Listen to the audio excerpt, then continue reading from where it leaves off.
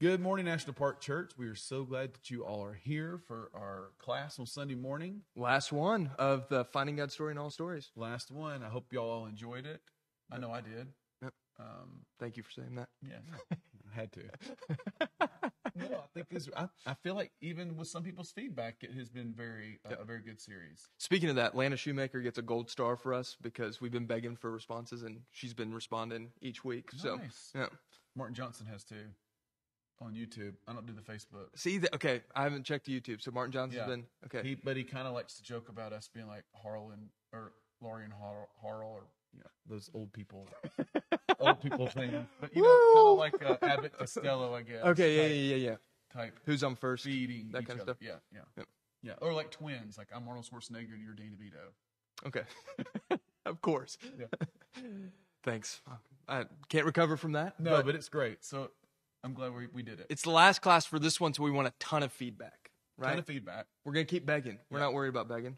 I would like to hear people's favorites. Yeah, What, That'd be cool. the- not favorites like what you liked, not the movie, but like what what did you really find the most in? Yep. Maybe even name a movie that man I wouldn't have watched this otherwise, but I watched it. Maybe maybe there's a few Yeah. people on there that did that. So uh, we do want to let you guys know that we're beginning a new class next week. Chad's committed to keep teaching with me. So our men's book club is doing a study on celebration of discipline by Richard Foster. We begin this Friday, and we thought it would be awesome. We have great conversations when we're together for us to then kind of synthesize that information and then share it with the whole church.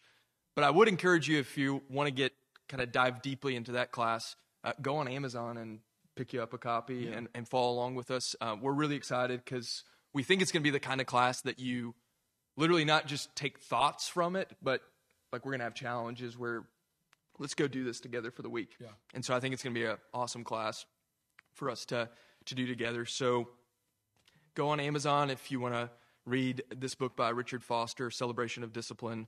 Uh, I think it's going to be worth worthwhile, and it will help you engage with our our class a little bit more. And I think did uh, Russ say was it this book that was also on the the audio for the the uh, library, or was it the other book? it was the other book. okay. but I, I'm guessing you can find an audio version. Yeah, check the Ho- Hoopla. Hoopla, yeah, is the is the library audiobook app. So, yep. So we're very excited about starting that next week. Uh, we're going to say a quick prayer, and then we're going to dive into uh, our lesson for this morning. A little bit different. We don't actually have a clip for this week. We're more doing a summary uh, overview of maybe some major takeaways uh, in light of our series on finding God's story in all stories. So, you mind saying a quick prayer for us? Um, dear Heavenly Father, thank you so much for another week. Um, thank you for um, all the things you have given us. Thank you for the chance that we get to watch this um, lesson online, uh, and really not even just that it's online, but that it's um, also you know on demand. And if anybody else wants to watch it, it's great. But just help us to learn from each other um, and from your words as well as the words that are out there in um, in the world, and just find our place uh, with you. In Jesus' name, Amen. Amen. So, almost every week, I've been mentioning uh, kind of what the, the reason for doing this class is. And uh, the, the goal has been how can we take something that seems like a, a thing that most of us do, right? So, if, if we took a poll of our congregation, I'm not saying everybody, but the majority of us watch TV, watch movies, spend some substantial amount of time in those areas. And so the, the goal has been how can we how can we take as Paul says every thought captive or how can we do everything for the glory of God even watching TV. And so I'm wondering uh, when you heard passages like take every thought captive or do everything for the glory of God, uh, how did you understand those? Did you understand it as, oh, I could probably do that while I'm watching TV, or I can do that in this other activity? How, I guess for you, how was that experience growing up? When you heard those passages, what kind of came to mind? Well, um, because we're in this trust tree here, um, really, it, uh, it it was always like, I mean, I separated it from from being in the building and then being outside the building. Yep. And really, the thoughts captive in here were to try to keep all thoughts only on Jesus, God, uh, the New Testament. I mean, every single thing, these stories. That was my thought process here. And then when I left, um, if it did great, but it wasn't it wasn't a part of it. Right. Does that make sense? Absolutely. Kinda- Absolutely. it was very much um, not finding those thoughts outside these doors. Yep. So I, for me, it's very similar that it was compartmentalized. So of course, I can glorify God by saying a prayer. I can glorify God by reading a, uh, my Bible. I can glorify God uh, or take every thought captive by um, singing some songs or doing like growing up doing an event with the youth group. But if you would have asked me, is it possible to glorify God by watching a movie?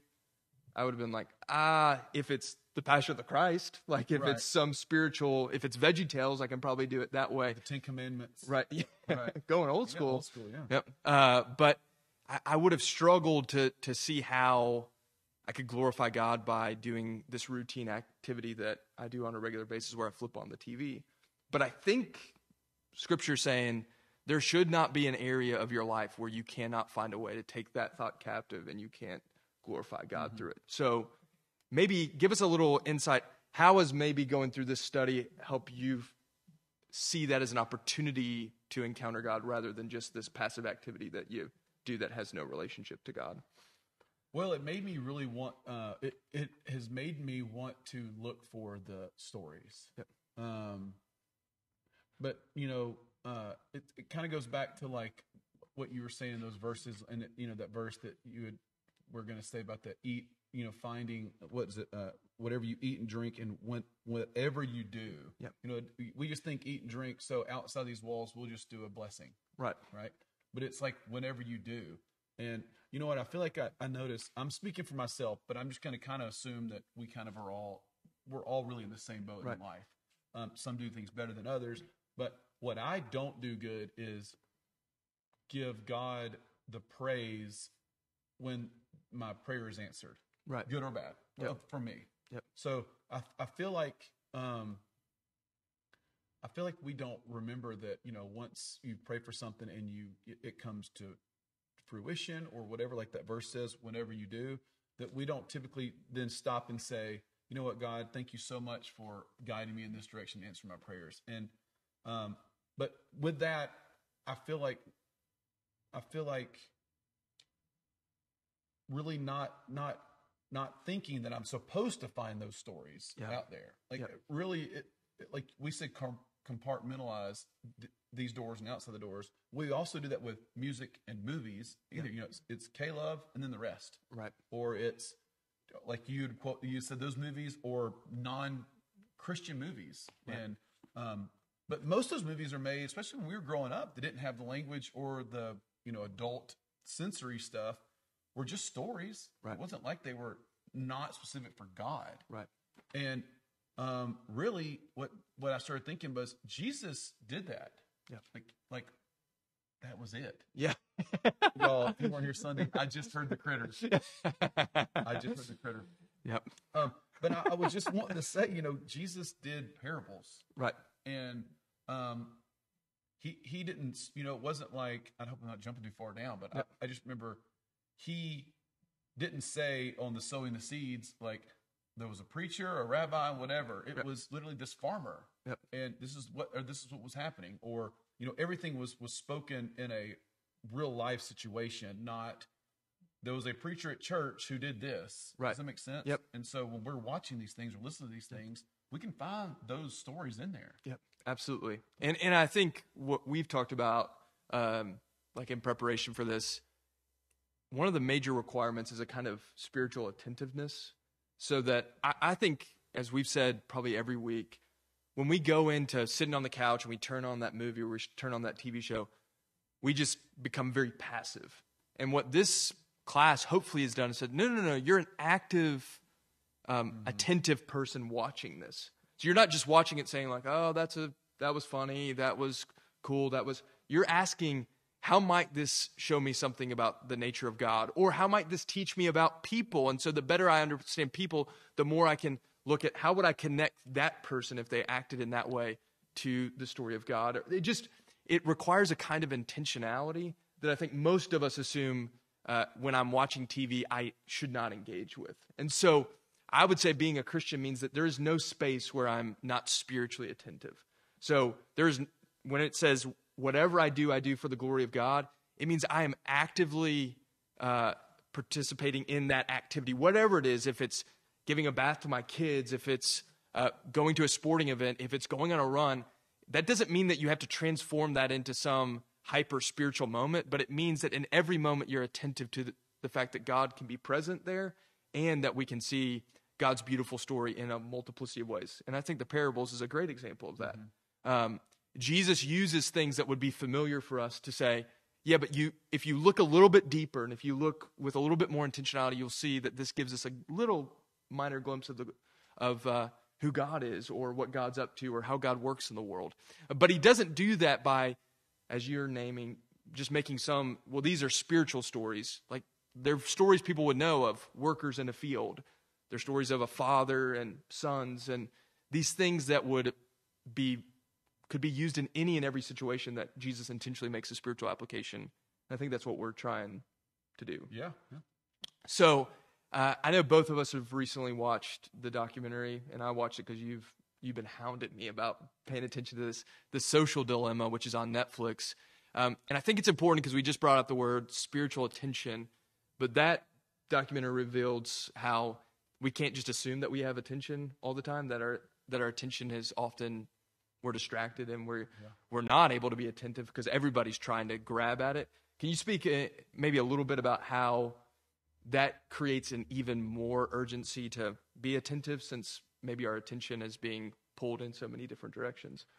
Yeah, I I mean if you think about if you think about if you're sitting throughout the day, the, the time you wake up to the time you finally go to bed, how much constant something's going on. Whether it be you're working, you're there's music, there's TV on, there's always something. And you know, unless we just sit and be still, something is grabbing our attention that could be a positive light or a negative light. Right. And um, you know, it it we are the we are right now, and I, you could argue this every year it happens, but right now we are by far the most marketed to um, generation ever. Yep. Now you can say, well, of course, Chad, because there's more, you know, media outlets or mediums or whatever you want to right. say.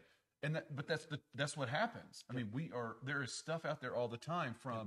You know, people freaking out about is our phones listening to us right. when we talk about I want to get a hammer at Lowe's, and then all of a sudden you're scrolling on Facebook or Instagram, and an ad pops up that's from right. Lowe's with a hammer on it. um, uh, those things are real and yeah. we don't we might just scroll and thinking they're not real, but it, something's trying to grab our attention, and it's either something that's good or bad. And like what you had said about watching those movies, you know, I feel like sometimes what we what we've done is we sit there and think, I'm going to veg out. Yep. I'm going to sit down, I'm going to put a put a show on, and I'm going to watch it. But I but it helps me just like not think. Right. But that's not what's going on. No. We are being lied to ourselves, thinking that that's what's happening. Yep whatever we're watching is then has our attention. Yep. And you know, unless like you said, we sit there with an intentionality of guiding, like, hey, I want to watch this show or this movie, and I hope I find something cool that would help me inspire me into it. Then it something else is going to grab our attention, yep. and it's we think that it's just attention deficit disorder and you know all that that stuff, but there's just something always grabbing us. I mean, I wake up in the morning, and, and like I'd said that you know about the uh, making sure God's first in everything, not just your tithe, but like when you wake up, like my friend Alex, he would specifically get up, read his Bible, say his prayer. Well, when I've done that to prepare for our book studies, it's worked out great. Right. There have been times where I've gotten up, started to making the coffee, and then thought I'll check emails. And I don't even have a job, and I'm getting emails. Yep. And every time I look at those emails, it might make me think, man, I really would like to, you know, see what's happening at Redbox. Yep. You know, or something. Yep. Instead of, wait, I'm supposed to be reading this book and all that stuff. So I hope that's what you're kind of wanting to say is that we're always, something's always going to grab our attention. And unless we are really disciplined to try to say, I, I want to just take a break and, and in silence and in a meditation standpoint of, let me just clear it all out. Right. I'm rambling. It's probably no. not what you were thinking, but that's just what I, I if if if you don't think that something's grabbing your attention constantly, you're in denial. Absolutely, absolutely, and I, I, think that's so right that uh, there is no f- purely passive state where nothing I'm there's nothing trying to grab my attention that I can just be in this neutral place where I'm inattentive completely. Like you're always gravitating towards something.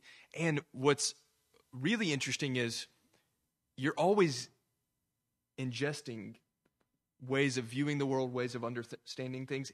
Even if you think, well, oh, that's not affecting me at all. Like if I'm not intentional about how I interpret something that's happening to me, like I'm just receiving it as, oh, well, that didn't make a difference in me, but it actually is shaping the way I view the world, the way I view people. Whereas if I'm spiritually attentive in that situation, then I can take captive that thought and say, well, in light of my belief in Christ, how should I think about what I just saw? And I know a lot of times that was used as a st- scare tactic of Christians should um, always just criticize culture, always criticize entertainment. And that's not what I'm talking about. But I do think that uh, we're receiving information at a rapid rate that is uh, unprecedented right. in history. Uh, and so that means that we have a responsibility even more now to say, I'm not going to just passively or think that I'm passively receiving the, this information, but I'm going to I'm going to be active in taking this thought captive. You know, I was going to say, uh, if you don't mind, just yeah, absolutely. Um, a great example is, um, you know, we, we, me and Megan just watched this uh, a, a couple of like this marriage conference thing, and one of the things was, you know, there's a lot of things that are harmless that God has created, or we have that's harmless that the devil makes uh, evil or bad. Right. I can't remember what the word was, but this is an example, and I'm not trying to get anybody upset, but this is just a great example. So, for instance, with this attention grabbing thing, we all have the YouVersion Bible app. Yep. Awesome app. It has, I forgot the stat I just heard, how many people it has reached that didn't have a translation or yep. a Bible in general. Um, it's incredible. Yep. We use it every day to do our Bible reading plans. Verse of the day pops up. Everything's incredible about it. But what if you use it while you're preaching. Yep. And you got the app up. Cool. I didn't have to read my Bible, but I got the words here. No big deal. Well, ESPN thing pops up. You know, for instance, right now, what if it popped up? Tiger Woods in a car accident. Well, are you going to then attention grab you? Click on that. Then all of a sudden, you're kind of not into what we're doing here and worshiping God and stuff. And I've been, I've done it, so I'm not saying I haven't done it, but I'm now trying to read my work, my paper Bible, and I, again, it's not that that app's bad. But from the standpoint of what we're trying to talk about here is something that's grabbing our attention constantly. That's a great example of of using something that can just you're you're really reading the word and all of a sudden it's like, oh wait, what's that up there? Yep. Yep. So I think that's exactly right. If you don't think your attention's not trying to get grabbed, that's a that's happening too. Yeah, all constantly. And I also think there's in scripture uh, a call by Jesus to pay attention to things that we might not ordinarily think can reveal God to us, but they do. So think of Matthew chapter 6. Uh, Jesus is trying to convince uh, his disciples, but also us, not to be anxious about anything. And he could go to, like, I'm going to go to this Bible verse in the Old Testament. what does he do? He says, pay attention to birds, pay attention to flow- flowers. Look at them, and you, you, the spiritual application he makes is if God loves them enough to take care of them and make sure they're clothed and make sure they're fed, do you think he's not going to care about us, which is amazing, right? Because what Jesus is saying is this protection of God, God caring for his creation, is all over the place. And you inhabit the world, and I inhabit the world, and, and we just miss it constantly because we're not paying attention to it. And so, isn't it fascinating that Jesus says, I want you to see something about God, and the way I'm going to do that is say, slow down. Mm-hmm. Look at a bird. It's like, well, I see birds all the time. Right. But he's like, no, no, look at that bird if God's going to take care of that bird and this flower over here, look at this flower. It's so beautiful. It's it's it's clothed in beauty. Do you not think God's going to give you those things that He's not going to take care of you? And I think what that is is Jesus is saying, be attentive to everything around you because you're going to be hard pressed to find a space where you cannot see the beauty of God, the gifts of God, the the reality of God if you're paying attention to it. But Jesus is also using a specific filter. He's not just saying look at birds, but he's looking at birds in light of the fact that birds are created by God. And in light of that being his filter, he can now say, My attention, my, and I'm using the phrase spiritual attention, allows me to see something beautiful about God in something as simple as looking at a bird. And I wonder how your day would change and my day would change if I went through every moment saying, I'm going to be looking with that kind of intentionality? What does this car ride teach me about God? What did my kid laughing teach me about God? What does washing the di- dishes teach? Like, how can I be spiritually attentive in all of those spaces? And so, one of the examples that we've been working on is how can we do that in something that's such a common activity today, like watching TV or watching movies? So, I want to transition now. We've, we've talked about individually how do we do this, but as I've been reflecting upon it, when we have a Bible class on this, it seems pretty natural to say, hey, we watch Les Mis, or hey, we watch um, The Greatest Showman, or we watch uh, Shawshank Redemption, and then we talk about spiritual applications. But I'll be honest, if one of you guys uh, came over to my house and we watched a movie on Friday night, it would feel a little bit awkward to just jump right in and have the kind of conversations that you and I have been having the past few weeks. Can you tell me why you think that is, and maybe even suggest how we might move where this becomes more common to be able to make these applications without it feeling like, oh, you're trying to be super spiritual? Right. I mean, I think that um, I think we have to get over the. It's just awkward. Yep. I mean, um, it's funny how we, as a human race, and our brains work. We we define what's awkward, not awkward, and it's all individually opinionated. Like yep. you know, some people don't find that awkward, right? And some people do. Yep. and um, until we get over the the the the we think we're harming the situation by bringing that up, yep. then we won't be able to change. Right. And um, I I don't do it, and I haven't yet. I, I, now that we have talked about this, right. I really want to do that more. Um, and it kind of links. It, it, doesn't have to be anything big. It, it, doesn't have to be like this. Did you see Jesus? Right. in that part right there. It could yeah. be simple as like when Megan watched Shawshank. If we're just watching Shawshank with somebody, to just kind of be like, man, did that just reminds me of Joseph's story in the Bible? Isn't that crazy? And then maybe they say, what what do you mean by that? And then you just explain it. That's yep. it. Yep. You don't have to say then have a you know have a calling for coming forward and yep. all that stuff. It's just a conversation yep. of you know you know Joseph was in the Bible and this is what happened and this is kind of the same exact scenario or any of the other movies we've used. Right.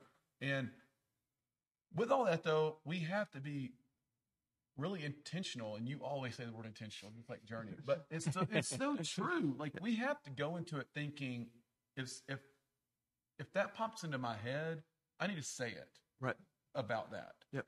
And you know, and and maybe it's the first time we do it, it's a little awkward. Maybe the next time it's easier, or you know, maybe the people think you're annoying and you don't watch a movie with them right. again. Yep. Um, but I just think saying those things is what God wants us to do. Yep. Um, for one, they're positive. Right. You know, we're not sitting here writing on Rotten Tomatoes, you know, ripping the movie, right. a new one. Yep. It's just literally just saying, this is something very positive I found. And there's, why do we think we can say something negative about a movie yep. and people will be like, I agree with you or don't agree with you? I mean, think about it. Right. If I say I didn't like Les Mis, Yep. and you would say, "Well, I, I liked it," and yep. we can talk. We don't not become friends, right? But what we think in our heads, if I say, "Did you see this part in Les Mis? It was kind of a good redemption story, whatever." you're not going to be like not friends with you anymore. Yeah. found something positive in this movie. Right. So I don't know why our brains are wired that yep. way, and I think it's the devil. Yep. I mean, I think he's in there. Yep. Um, I hope that kind of talks yep. about what it's, you're thinking. Because it's interesting. Uh, kind of a running joke here is that uh, I'll reference The Office in any and every situation. So if someone's telling, "Hey, our Chili kids," yeah, our, our kids were doing this last night. I'm like, "Oh, that kind of reminds me of an episode mm-hmm. of The mm-hmm. Office," and it's not weird at all. Like maybe some people get annoyed by right. it, but nobody's like, oh, why would you try to connect it to the office? But I, I think if we become more comfortable, it shouldn't be weird to say, man, that's a cool redemption story. And of course, when we think about redemption stories, we think about the ultimate redemption story. Mm-hmm. And you don't have to do preachy and it doesn't have to be like a class. But I think um, one of the coolest things that, and this is a long time ago, but John Mulliken, who came to help us with our vision process, mm-hmm uh, when he met with the staff and the elders, one of the things he suggested that we do is we ask the question to kind of begin where have you seen God most clearly recently? And it's really awkward when you first go, like, well, what do I say? How do I? But what I think John was getting at is he was training us to say, be looking for God to show up. Because a lot of times we don't see him because we're never looking for him. And I think it's still probably awkward. Well, on a Friday night, could I really tell Chad, I've seen God here recently, or I saw, because that's basically what we're doing. I saw God in that movie we watched together, Or you broaden it out to something else like, I've really seen God in this person at church recently or in this event that's happening. And I actually think that's one of the really important things that our church can capture is that doesn't need to be awkward. Mm-hmm. Why, why is it, and I think your point is very profound, that all of us could sit on a Friday night going, aren't you kind of, shouldn't church be doing this? Right. Like, this is disappointing. Why, why aren't we doing this? Or why was this said? Or why was, and that doesn't feel awkward at all. But it feels a little bit strange for us to say, isn't this really awesome what God's doing here? And it, I, I do think you're right that we are trained to think that negative is something that we can talk about, but positive is something that um, you're going to get shunned for because you're going to be, oh, you, you're trying to sound super spiritual. But how cool would it be if we had a community of people that were regularly paying attention so that we could encourage one another saying, I saw God in this place, or I saw God when I was watching this, or I saw God in this action, or I saw God in this bird. Like, I think that would be a pretty incredible thing. And I think it's probably because, you know, when you speak positive about something, people just automatically assume, oh, you're better than that, instead of like, it's so messed up how we think that way. But until we all acknowledge that every single one of us is has sinned and has fallen short of getting the receiving that Jesus died for us. Um, until we admit and know that every single person that sits out here has the exact same sins, has the same struggles as me, and whatever they say, I can take it. I can take advice from them because they might know more than me on something. Yep. And what we do is we just think, well, if I say something positive about this, well, I kind of got to back it up yep. in my life or by my words. And until we realize that that's not the case, um, I don't think we'll we'll be able to get there. To yep. be honest with you, but but we can negative talk because we're not there. Right. So let's just negative and, and, and talk about it. You know, we could coming back to that story because remember he also asked us as our vision team group that same question, yep. and I remember thinking to myself that was really right after um, this had happened, this situation I'm talking about. But what popped in my head immediately that that day was that when um, little Esner walked in for the first time and everybody stood up and clapped. Yeah. I mean, that was one of the coolest experiences I ever had in church. Right. And um, like almost tears, like such a sweet, like the love, every single person's love was great. Yeah. And why can't I go share that out there? But I can share, you might like our church, but we don't have instruments. Yep. Like we have to just kind of knock it a little bit instead Yep. of like, come see, this is what happened. Isn't this Yep. awesome? Yep. Why do we lead with the negative, not with the positive? So I think that I think that would be one very practical way for us to move into how do we take every thought captive? Well, ask the question, where have I seen God? And and then train yourself to be more attentive to that. Mm-hmm. Because it may be it's like anything when we're trying something new. At first it may feel really hard or you do the very obvious thing. Well, I saw God and you know Chad helped an old lady walk across the street. But maybe by doing that every day for a year, you're able to say something that seems really uh, minuscule, uh, but you're so attentive that even small things, you're able to see the beauty of God in those. And so I would say, if you want to take every thought captive, you're going to have to have a kind of a, a question that's going uh, on in your mind pretty regularly. And one of those questions can be, where am I going to see God? How could I see God in whatever I'm doing? but be prepared because now we don't have any excuses. You know, you, we always have that excuse of I can't teach because I don't know the verses and where they are, Yeah. or I don't want to talk to someone about baptism because I don't know where all the verses are, or I'm prepared for their defense. But there's no excuse on this one because now you watch a movie and you can say that reminds me of Joseph Yep. because you know it, Yep. and then you can just say here's where it was and here's the story. You don't have to be like let's open our Bibles and let me find the verse. I don't know. I want to be embarrassed. You're just mentioning something that you've heard in the Bible. Yeah.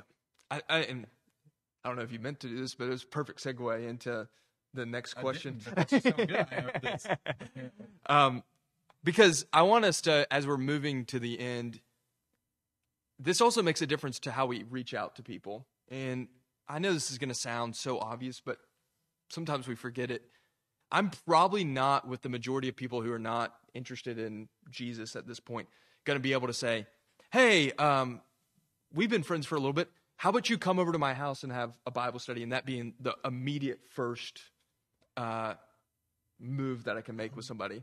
But I probably can have a conversation with them about movies and TV shows. And the more I'm attuned to the story of Jesus and to being spiritually attentive to these things, I might be able to uh, to make a connection for them that they would otherwise say, "Oh, I didn't know Christians," because I've heard this before.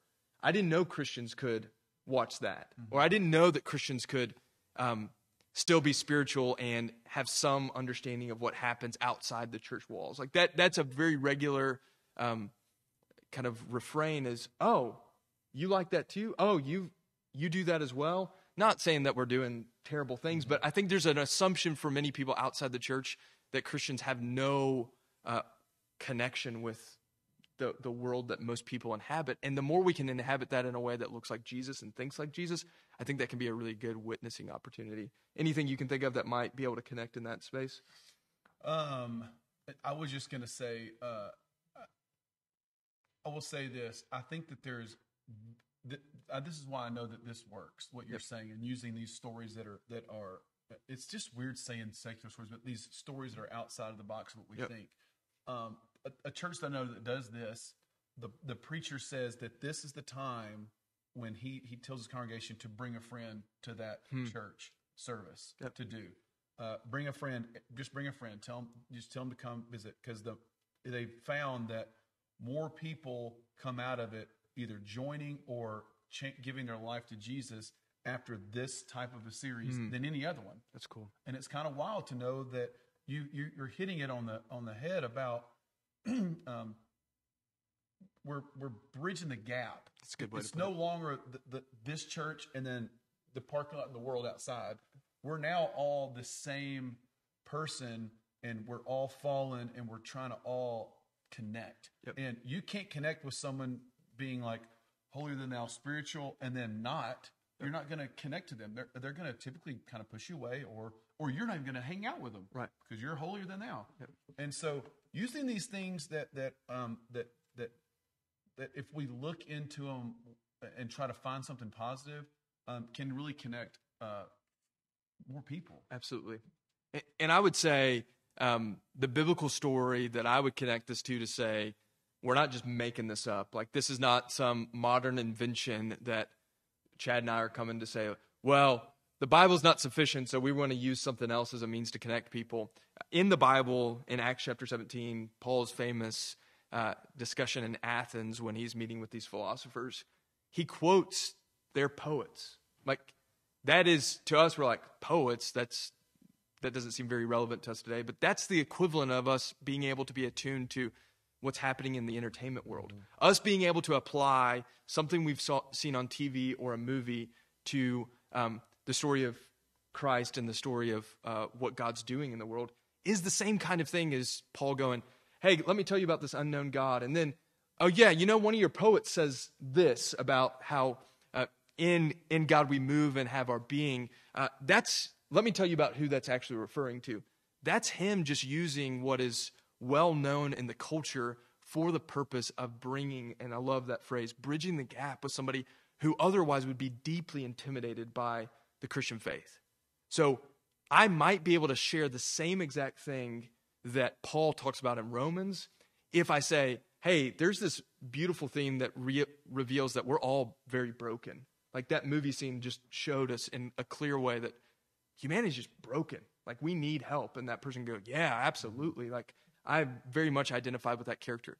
And you're saying the same thing as Paul saying, we've all fallen short of the glory of God, um, and we're all going to die. Like Romans 3.23. Um, and so I, I think that's a really helpful thing is even the earliest, and I would say maybe the Christianity's greatest evangelist, was well versed in the the culture of his time to be able to know how can I make cult, uh, contact with a community that not isn't necessarily receptive immediately to the gospel. And so I think thinking of training yourself to be able to see God's story in all stories is going to help you make those um, connecting moments and bridging the gap a little bit more faithfully. Yeah, because I think we need to forget, you know, until we uh, break, like I keep saying a lot of stuff, I feel like, but it seems like it's a common thing of, of breaking this this thought process that we have that we really have got to break. And one of them is like you're talking about the, the Paul story. You know, it wasn't like we don't need to think about the all the New Testament times of being this like everything was holy, but there was like a little bit of weird stuff going on. I mean, it was just like now. I mean, it was there was stuff going on. You know, people out there, you know, prostitution, rob, robbery, murderers, thieves, you know, adulteresses, adulterers, like widowers, people not taking care of them. Like all this stuff was going on then, and it wasn't like we don't need to think of the New Testament was just like perfect time, kind of where Christians just started flourishing. It was a hard time, Yep. and they were they were having to connect, which is why the parables are so cool. You know that the whole bride's made bridegroom story, like all these things were not, Right. you know, a rabbi, uh, you know, in David's time did this. It was like this is stuff that can connect you, and until we realize, until we stop changing, like like I mean, lining up church and non-church in everything, it'll be easier to do. Yep. And what made me think when you were talking about this was kind of like the tortoise and the hare story. Was that Aesop? It an Aesop fable? I don't know, but I know, yeah. This person is writing a book that you would say, since it wasn't written in this, Yep. is not a Christian book. Yep. But Bloopers. bloopers but um but really it can be compared to like paul saying you know or whoever wrote hebrews um the you know persevere run the race Yep. keep going and, and and that person wasn't writing it thinking i'm gonna i'm gonna connect this to you know hebrews and some of the christian views or whatnot um more than likely they were just writing a story that Yep. they thought someone would find um learning and just because they didn't write it inside of a church building does not mean it's not something that we can't read or connect to Jesus. Absolutely, Really. absolutely. And I, I think what we see is uh, that's when my own study in Scripture, my own time, like when we come as a church and we gather together, we're building the the tools and the knowledge of who God is, and we're immersing ourselves within the Scripture, not just merely so we can merely go out and regurgitate that. But we've been so formed by that, so we can be like Paul, who knew the Old Testament backwards and forwards. Like mm-hmm. he was trained in that way, so that when he's making a connection, he's saying something true. When he's using their poet, he's saying something true because he knows the truth that he's already seen in Scripture without feeling like he has to quote it for it to, to be true because he knows the truth of Scripture.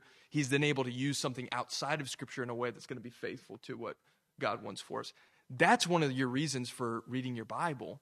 One of your reasons for knowing the Bible is so that you don't have to only quote a Bible verse, or you don't have to be sitting there going, well, um, turn with me to Acts chapter 15, you, so that if you know your Bible well enough and you know God well enough, you're going to be able to, to almost second nature be able to make connections that are not where you feel like you have to have your nose in the Bible because you've spent so much time already studying the scriptures and they've, they've you've immersed yourself in them. Does that make any sense? Yeah, yeah. It's kind of like uh, it, we don't need to. Uh, it, that's why the, the Bible and the Holy Spirit are working hand in hand in us. You know, Yep. if we didn't, if we didn't have the Holy Spirit, or maybe we need we need to memorize it every single one of them. But we have all this inside of us and using this as a tool. And I'm glad you said that because I thought, you know, it's all these stories had redemption in them, Yep. which is what the whole New Testament Jesus we're redeemed by Him. Yep. And uh, but it doesn't.